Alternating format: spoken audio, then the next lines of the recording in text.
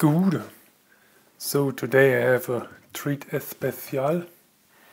This is the Pearl Eliminator P2002-2001 BC double pedal kick drum drive.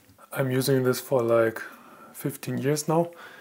It's too big to fit in the frame, but basically it's like two pedals and one pedal is connected via a rod and drives one puncher and the other one drives the other puncher. And this way you can play with both feet alternating or at once if you like but why? Um, and just using one kick drum or one controller if you play electric. So this obviously has the benefits of taking less space than setting up two big drums. But it has one problem. I'm just assuming that most drummers are right footed. So the leading foot, the strong foot, is the right one. The right foot is connected directly to the beater and therefore is working really easily because basically you just pull down here and it makes the beater Okay, you know how this works, I hope. And your left foot has to work with all the mechanics. So you push down here, the spring is here, the, all the tension has to go through the rod and then is delivered here and the right one runs much smoother or has less resistance and this is troubling because the right one is your strong foot, as I mentioned, and at least in my case, and the left foot is the weak one.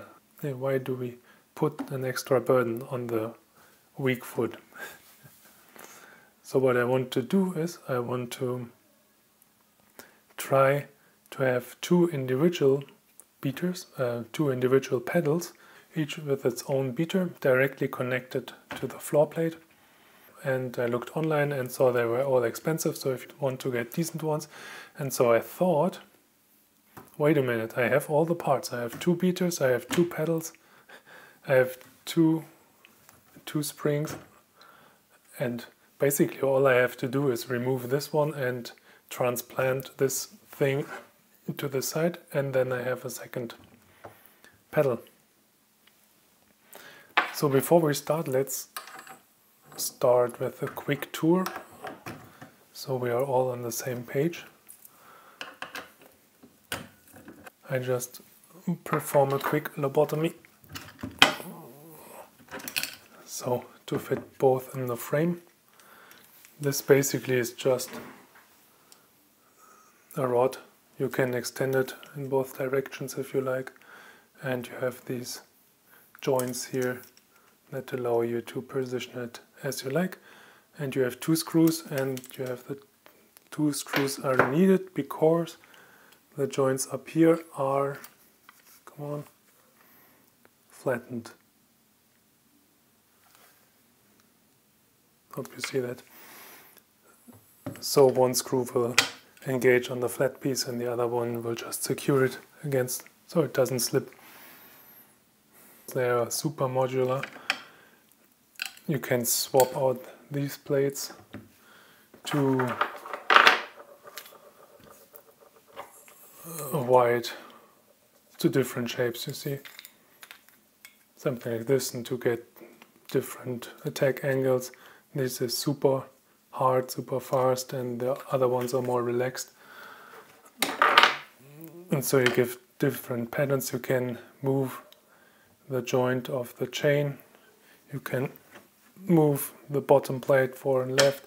You can switch the plate if you want to play on the sticky stuff or here. You can remove the stop up here. Um, what else can you do? Ah, obviously you can do the same with those. You have the screw to tighten it to the bass drum. We have the spikes that go into the ground to prevent it from slipping away because you hit it like this and create some force, forward facing force. And that's also the reason why I'm using this plate here to not scratch the desk. Basically all I told you about this one applies to this one as well. You can also adjust the angles of the screw, uh, of the, the tension of the spring. You can also adjust the tension of the spring, obviously. You can do this with everything, with every kick pedal. You can adjust the height of the beater. You can um, choose different sides of the beater. You have two different shaped plastic beaters and two cotton cotton beaters, I think. So I opted for these, but I played them quite a bit. And they also came with these little weights, so you can put them here and slide them up and down, depending on your taste. I hope the camera angle is okay. I had to position the camera differently than the other videos to get everything in place.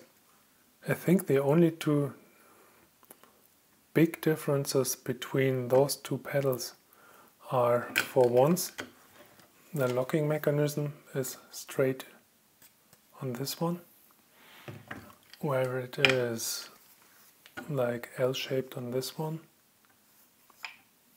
and it's also dusty although I cleaned it half a year ago you have this fork here to give mounting point for the second beater, right? So that is, yeah, and you have a second mounting point for the spring. Obviously, you don't need this here, but you they provided us with the mounting point for the spring here, so why not? So why shouldn't it work? We will find out. Ah, it also came with few Allen keys, so we should be able to do this transplantation with the tools they provided in the set. Okay, let's destroy it first and then put it back together. Untighten the spring. Now I can remove the spring at all. Actually, I do have to remove it anyway, but it's a lot easier to remove it without the tension. Two washers on the bottom and the one on the top. And I think it's basically the same as this one. Yes. One. Yeah. I had a good look at it before I started filming. So I may have a little head start here. And the head start is gone.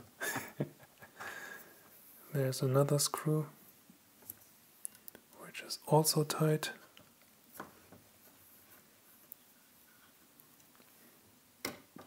Ah, now it comes apart. In here we just have two ball bearings and the spacer which is actually quite dirty. So we'll just put it back in there. And we have the first single pedal. Okay to the second one. This doesn't look that beefy does it? But it has a metal plate as well that's really really nice for stability oh that was easy The second one. Okay, this thing is round and then it's getting square here. Okay, it's always just a matter of see a screw and remove a screw to get to the end. And the only screw I see right now is this one because I don't... Okay, or just use the tappy tap force. This and that.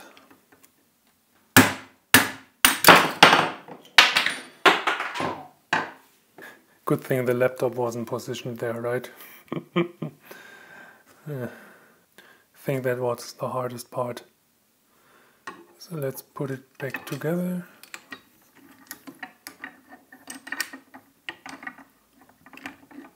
Like so.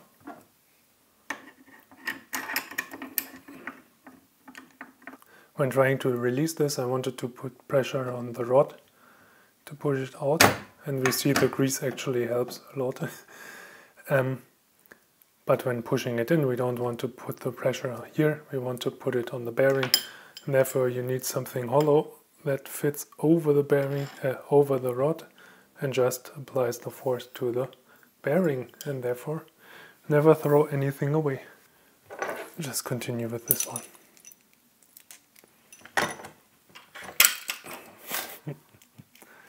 see if it works.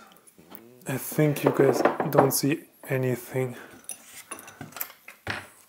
Let's do it like this.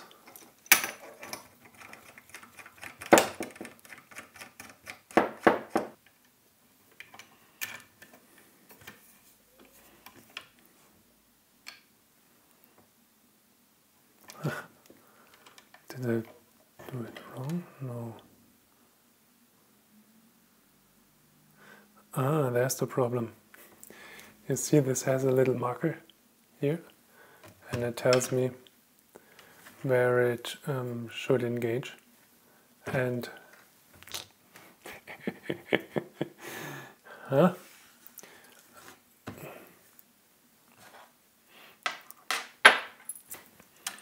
So, but it's a learning experience.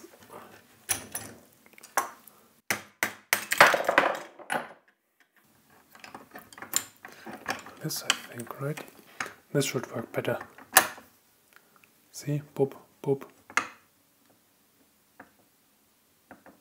Yep, that's much better. Easy peasy. Lemon squeezy. Okay. And let's see if this is better now. Much better. That's like this. Now last thing to do is to position this right, screw the screw and have two single beaters. it's a much closer fit now, isn't it? And I'm very pleased I have two single pedals made out of my dual pedal. Nice, very nice. Last thing to do is uh, to get a second bass drum or a second controller. I hope you liked it and learned something. I learned that I have to clean my stuff before I do something like this again next time. And yeah, thanks a lot for watching.